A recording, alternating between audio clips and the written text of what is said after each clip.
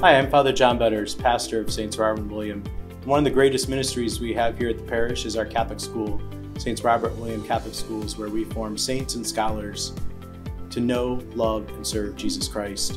And we are looking for people who are interested in being a part of a team, being a part of our uh, staff here at Saints Robert and William. We have a number of openings because of retirements and uh, promotion. We would just look forward to inviting you to consider applying.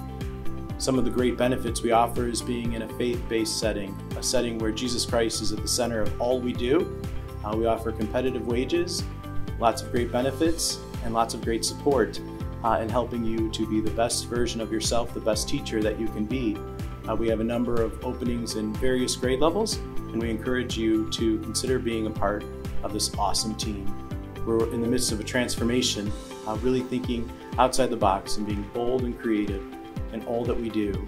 And we would like you to be a part of shaping how we will be educating our students moving forward.